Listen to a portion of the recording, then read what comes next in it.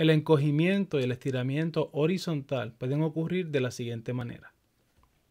Si nosotros multiplicamos la variable independiente por un número constante y ese número constante es mayor que 1, vamos a estar viendo un encogimiento de la gráfica horizontalmente por un factor de 1 sobre ese número.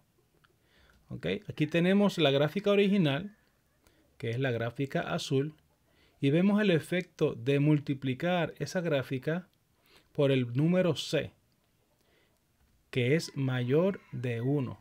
Y obtenemos esta gráfica que ven en rojo, que se ha eh, comprimido horizontalmente. Se ha hecho más pequeña horizontalmente. Ahora, si el número c es un número entre el 0 y el 1, ese eh, efecto va a ser entonces un estiramiento horizontal con un factor de 1 sobre c.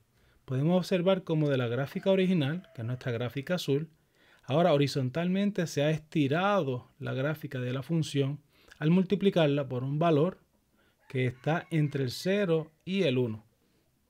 Vamos a ver este efecto en un ejemplo utilizando la calculadora gráfica. En este ejemplo vamos a estar utilizando la función x al cubo, la función cúbica. Vamos a ver qué ocurre cuando nosotros afectamos específicamente nuestra variable independiente. A nuestra variable independiente la voy a estar multiplicando por 2. Esperamos que ocurra un encogimiento horizontal. Efectivamente hemos tenido un encogimiento horizontal comparado con la función original. Ahora vamos a hacer lo contrario. Vamos a afectar nuestra variable independiente, pero multiplicándola por una fracción propia, como por ejemplo medio. En este caso estaremos esperando que ocurra un estiramiento horizontal.